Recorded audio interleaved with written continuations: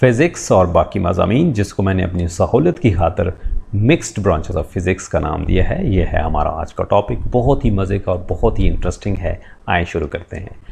Mixed branches of physics की जब हम बात करते हैं तो पता चलता है कि the overlapping of physics and other fields of science have given birth to new branches of science के फ़िज़िक्स की और साइंस के जो बाकी मजामी हैं, इनकी जो ओवरलैपिंग हुई, जो इनका मलाप हुआ आपस में, उसके नतीजे में साइंस की कुछ नई शाखें वजूद में आई, जिसमें astrophysics, biophysics, geophysics, medical physics और फ़िज़िकल ओशियानोग्राफी वगैरह शामिल हैं। इसके अलावा और भी शाखें हैं, लेकिन यहाँ इस वीडियो में हम सिर्फ़ इन पाँच को फोकस करने वाले हैं।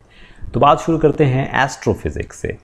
Astrophysics, the scientific study of the universe by applying the laws of physics and chemistry. Astrophysics science की एक ऐसी शाख है जिसमें हम फिज़िक्स और केमिस्ट्री के कवानीन को इस्तेमाल करते हैं हमारी कायनात का साइंटिफिक स्टडी यानी साइंसी मताला करने के लिए Astrophysics deals with the study of solar systems, stars, outer space, black holes, the existence of the multiverse etcetera etcetera astrophysics में ही रहते हुए हम निज़ाम शमसी, यानी सोलर सिस्टम्स के बारे में स्टार्स सितारों के बारे में आउटर स्पेस हमारी ज़मीन और निज़ाम शमसी के बाहर की दुनिया ब्लैक होल्स और फिर इसके अलावा हमारी कायनात के अलावा क्या इस तरह की कोई और कायनात भी है? क्या उसका कोई वजूद है या नहीं? इन सारी चीज़ों को हम एस्ट्रोफिज़िक्स में रहते हुए पढ़ते और पढ़ाते हैं।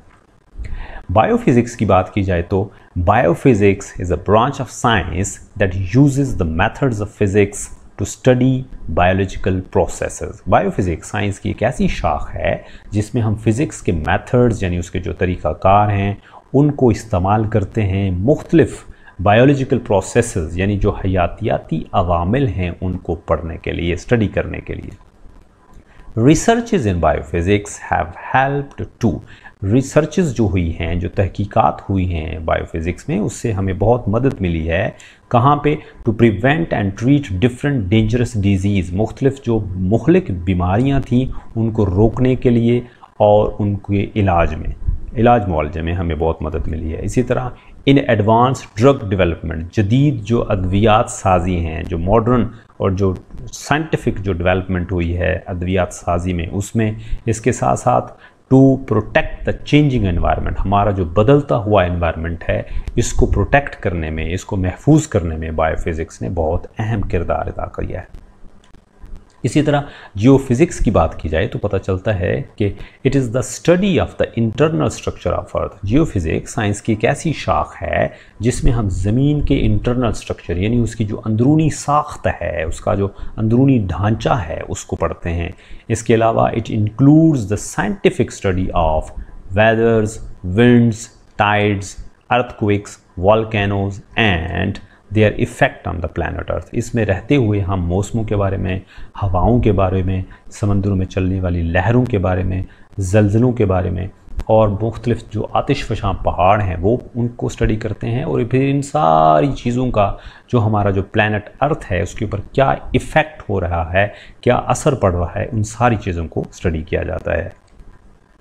मेडिकल फिज़िक्स की बात करें तो पता चलता है कि it deals with the applications of concepts theories and methods of physics in medicine and health care ये साइंस की और फिज़िक्स की एक ऐसी मुश्तरका शाख है जिसमें हम फिज़िक्स के कॉन्सेप्ट्स को थ्योरीज़ को और मेथड्स को इस्तेमाल करते हैं मुख्तलिफ़ मेडिसन यानी अद्वियात साजी में एंड हेल्थ केयर और मुख्तलिफ़ बीमारियों के इलाज मुआवजे में।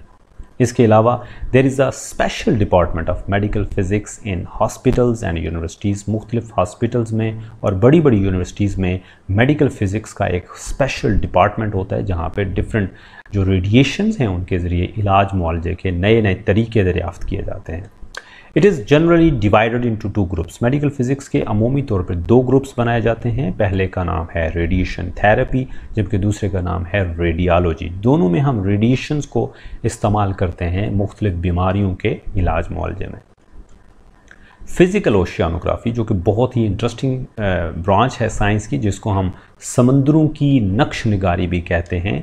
ये साइंस की कैसी शाख है जिसका ताल्लुक, जिसमें हम it deals with the study of pattern composition and geometry of different oceans using the laws and concepts of physics. ये फिज़िक्स की एक ऐसी साइंस की एक ऐसी शाख है जिसमें हम फिज़िक्स के लॉज यानी कवानीन और कॉन्सेप्ट्स को इस्तेमाल करते हैं।